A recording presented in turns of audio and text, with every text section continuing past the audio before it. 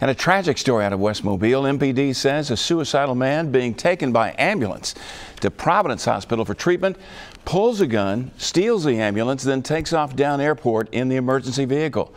The ambulance stopping on a side street after overheating and catching fire. Police say the man then shot himself and died at the scene.